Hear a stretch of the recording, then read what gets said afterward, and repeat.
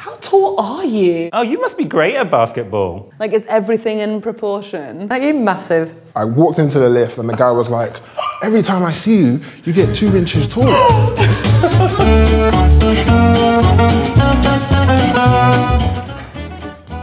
But how tall are you? It's something that I get every single day, multiple, multiple times. And they're like, you're tall, and I'm like, what? You've got to be kidding me! I mean, that's a that's a fair question. Why? Why do you need to know? If you do tell them how, how tall you are, like, How tall are you is never the end of the conversation. No, no. I don't give sass, unlike some people.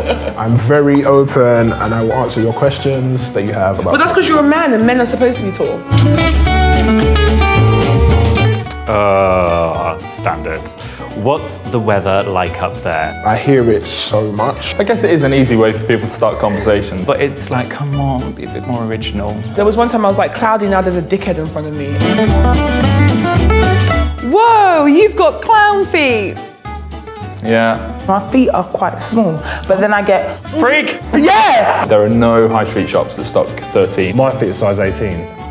Oh, if it rains, we can take your shoes off and use them as a canoe. End up putting black bags on your feet half the time. I'm all legs. I'm all And I have to wear my trousers like really low down. And it's like 50 million pounds for, a, for like an, an underwear that's going to fit your bum right. but then nothing ever fits me. Yeah.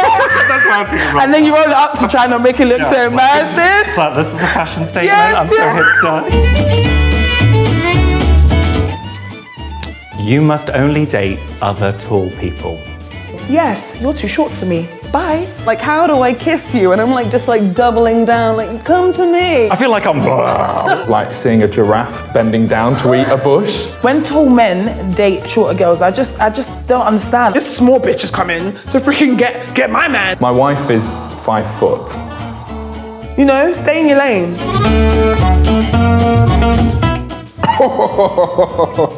Can you move to the back for the photo? I actually don't mind. No, I refuse. I get it. I don't.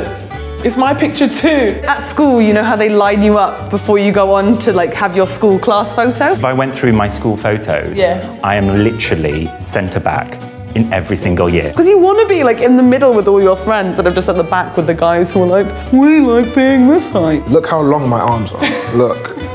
I'm a human selfie stick. You have to squat a bit. Yeah, then, it's, yeah. you just sort of you you got to lean back right or up. go down, and yeah, it's never you're never going to get your best angle from there.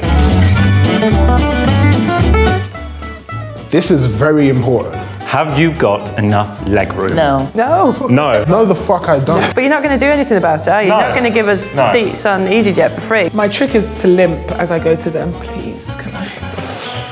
They're so long. it's not a question of being uncomfortable. It's you would not get in that seat. I'm always like Evelyn, this. No, yes. And who's in the exit row? Freaking Sally, who's like five foot two and nothing's wrong with her. Can I get on your shoulders? I've been asked by a boy before, no. you can't get on my shoulders. So I'm gonna be the big old ogre carrying the little petite thing on your shoulders. Like I hate it. I once accidentally tripped up while giving a girl a piggyback. I don't like it when it's at a festival because then it's like, you know, I'm already causing anger behind me. I'm so insecure at festival grounds. People are like giving me the death stare. So I spend the whole time just like bowing down, trying to apologise for it. and I end up just not enjoying the gig because I'm in pain. I'm all for the piggybacks if it's someone I fancy. Stand up so I can see how tall you are. So a guy would come over and join the table, and I'd be like, oh, I'm gonna get a drink. And he's like, okay. Oh, no, And then just as I go up like this, Oh, go on. I will not. if I look like I'm standing, and I'll be like, wait, it's coming. Don't be a spoil sport. I will do no such Go thing. on.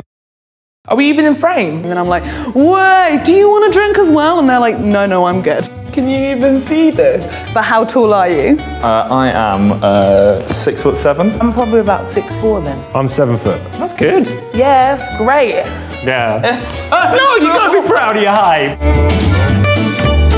It was more awkward when I was younger. It's tricky, isn't it, when people yeah, you are can't work banging on? Yeah. about it? Like sometimes you're like, ha ha ha, the weather is fine. Get laughed at, people can be really ignorant. Other times it's just the wrong day, and you're like, what are you trying to say? I don't really want like to be a spectacle, like, you know, to be laughed at. You know, you can get cool glasses, you can do what you want with your hair, but there's not really a lot you can do about about your height, um, other than embrace it, I guess. If you can be like happy in yourself being tall, you can be a very, like the way you carry yourself and like you can walk with that like strut and it's like, oh, who's that girl? Who's that model? Who's that person? It's like, oh, it's just me, Naomi Campbell. And then.